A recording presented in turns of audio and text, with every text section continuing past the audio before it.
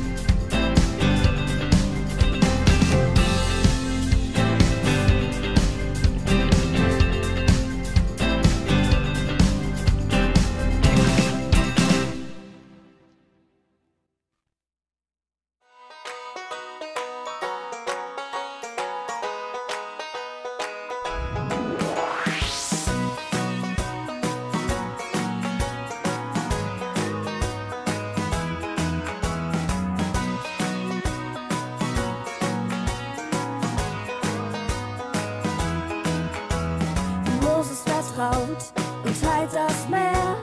Daniel hat Mut.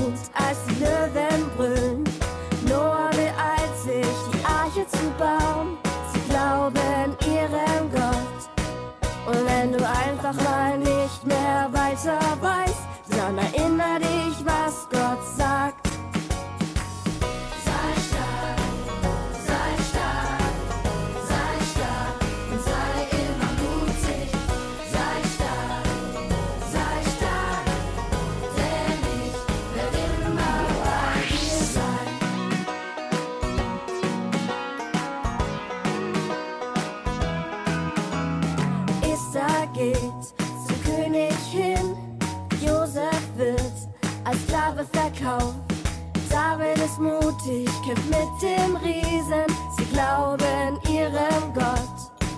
Und wenn du einfach mal nicht mehr weiter weißt,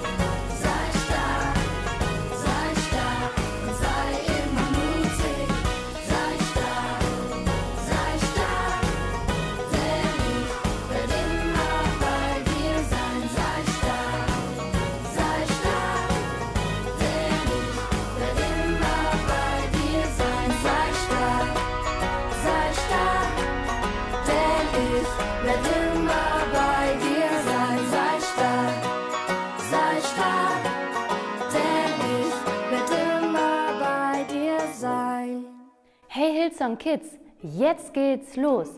Gott hat dich lieb und macht dich groß. Wir sind mit Gott auf einer Reise, also hör gut zu und werde leise. Hey Kids, ich bin Valerie und ich habe euch heute eine Geschichte mitgebracht. Und zwar bin ich auf einem Pferdehof groß geworden. Aber man könnte auch sagen, es war ein Bauernhof. Wir hatten so viele Tiere. Welche Tiere fallen euch ein, die auf einem Bauernhof leben? Schafe? Richtig? Hühner, Hunde, Katzen und bei uns lebten natürlich auch die Pferde. Und eines Morgens bin ich aufgewacht, meine Brüder und ich, weil mein Vater, der kam ins Haus gerannt und hat gerufen, Kinder, aufstehen, ich habe eine Überraschung für euch.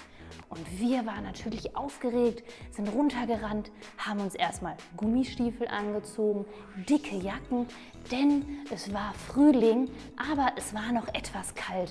Und dann sind wir nach draußen gelaufen, meinem Vater hinterher. Wir haben uns gefragt, wo geht's hin? Naja, und dann sind wir in den Wald gelaufen. Dort sind wir auf eine Wiese gestoßen.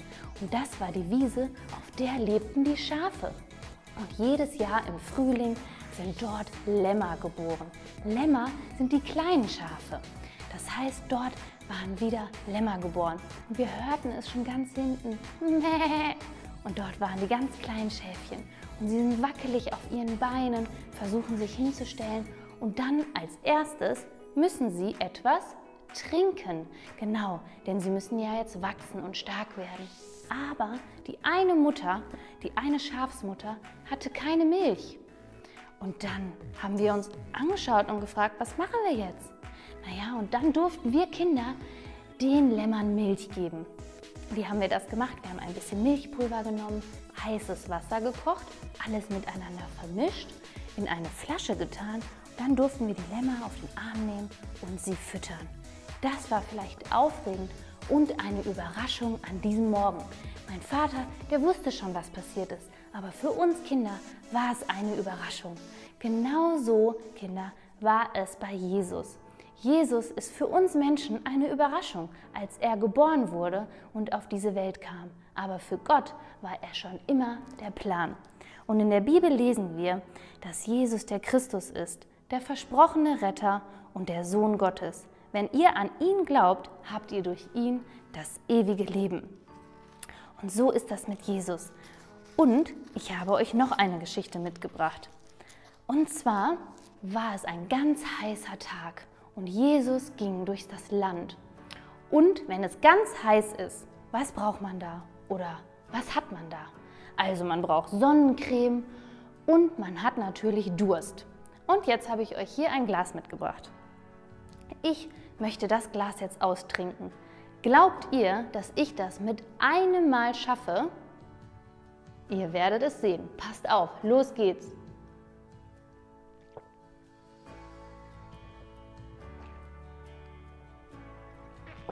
geschafft. Aber wisst ihr, ich habe immer noch Durst. Aber das Glas ist jetzt leer. Das könnt ihr hier sehen. Und so war es bei Jesus. Der hatte auch Durst und er war auf dem Weg und dort war ein Brunnen und eine Frau stand dort und er hat sie gefragt, kannst du mir etwas zu trinken geben? Und die Frau hat dann ein ähm, Glas genommen oder einen Eimer und hat dann Wasser geschöpft und wollte es Jesus geben.